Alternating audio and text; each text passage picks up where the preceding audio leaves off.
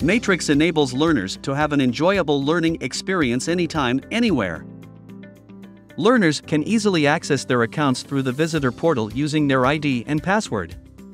When you log in, the first page you see is the dashboard that displays all your current courses.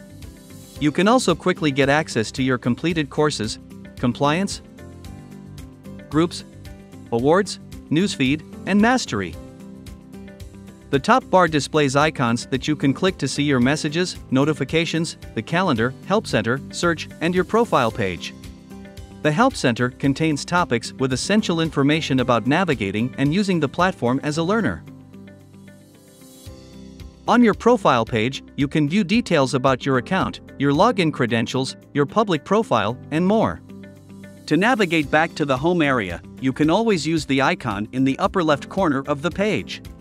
The left bar allows you to quickly navigate to the main areas of the site, such as Home, Catalog, Users, and Resources. On the right hand side, you can see the calendar, any to do items, any online users, your notifications, and more. In the Courses widget, you can see all your courses. The pulsating activity indicator shows the intensity of the activity within a course. To visit the course, click on its tile. The default landing page of a course is the dashboard. Equally important is the Modules area, which provides an overview of all the modules. From the Start link, you can also access the course newsfeed, calendar, groups, mastery, and a welcome page if enabled. The left bar gives you direct access to the most important areas in the course, such as your assessments, the resources area, the course instructors and learners, and more.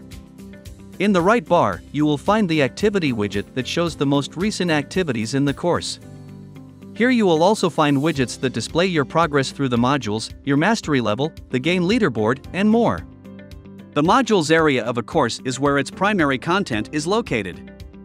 To see the details for a module, click on its name. Modules usually consist of content pages and assessments.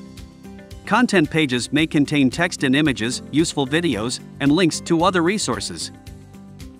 To navigate and jump between modules and sections, use the table of contents or the buttons at the top of the page. If the course has a game enabled, you can receive points and badges for completing different actions. Once all activities within a course are completed, you can receive a completion certificate. Now you know how to navigate Matrix as a learner.